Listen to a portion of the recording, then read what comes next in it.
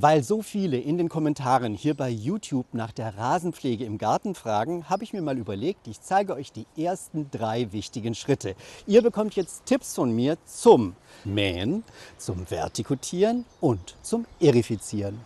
Ich bin Horst, ich bin Gärtner und mein Schrebergarten ist in Berlin-Charlottenburg. Tipp Nummer 1, mähen. Das wichtigste Prinzip beim Mähen ist eigentlich ganz einfach. Je öfter, desto besser, mindestens einmal die Woche.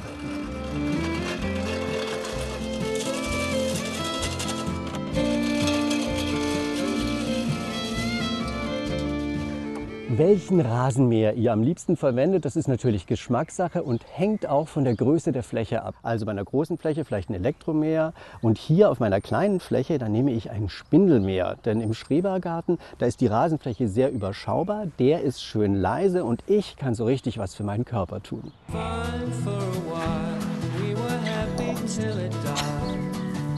Fine auf welche Rasenlänge sollte man mähen? Drei bis fünf Zentimeter. Ganz wichtig, bei sehr großer Hitze und großer Trockenheit nicht zu kurz mähen, denn die Halme, die beschatten sich gegenseitig und dann trocknet auch der Boden nicht so schnell aus.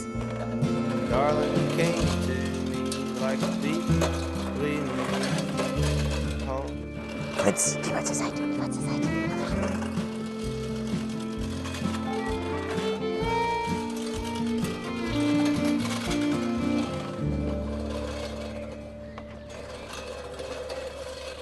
Schritt Nummer zwei, vertikutieren. Vertikutieren, was bedeutet das? Eigentlich ganz einfach, man möchte Filz, Moos, alles, was dem Gras so die Luft zum Atmen nimmt, möchte man rausholen. Das ist auch Konkurrenz und das wächst dann einfach nicht so gut, das Gras. Also nimmt man zum Beispiel so einen Handvertikutierer hier für kleinere Flächen. Wer das nicht hat, kann auch normalen Draht Metallrechen nehmen. Mit dem kann man das auch ganz gut rausziehen. Und wer eine sehr große Rasenfläche hat, der kann sich vielleicht einen elektrischen Vertikutierer im Baumarkt ausleihen. Man macht das so zweimal, also maximal zweimal im Jahr, im Frühjahr und im Herbst, weil es ist schon ganz schön Stress für den Rasen. Man muss da auch sehr gründlich sein. Also einmal längs und einmal quer über den Rasen, wie so ein Schachbrettmuster und dann alles gründlich runterrechen.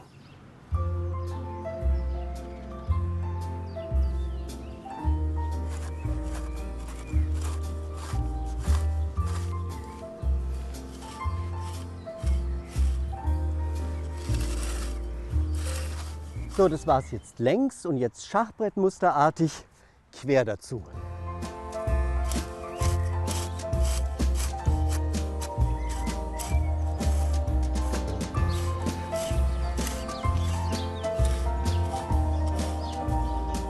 Und dann gründlich mit dem Rechen nochmal drüber gehen.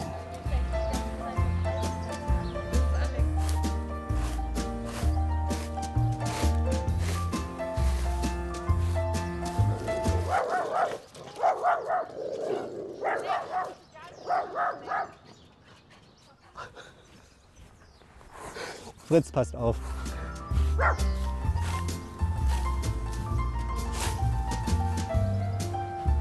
Das kann man sich ja vorstellen. So ein Riesenberg an Filz und Moos aus dieser kleinen Fläche, dass da das Gras weder atmen noch wachsen kann.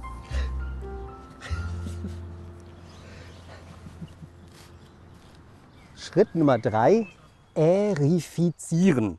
Das bedeutet, Luft in den Boden bringen. Gerade bei sehr dichten, sehr lehmhaltigen Böden wichtig. Da kommt nicht genug Luft rein, damit auch nicht genug Luft an die Wurzeln der Gräser und dann wachsen sie nicht mehr gut. Man erkennt das manchmal, wenn das Wasser nicht mehr abfließt, dann kommt auch keine Luft in den Boden.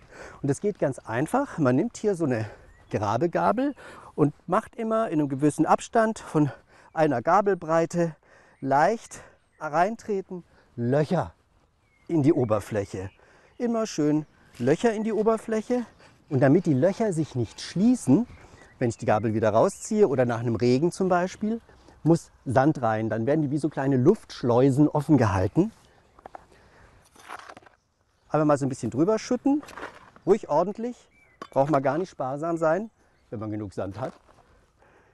Und dann mit einem Besen den Sand in die Löcher einkehren. Wie bei Fugen zum Beispiel. schön den Sand in die Löcher einkehren und so bekommt er wieder Luft und kann viel besser wachsen.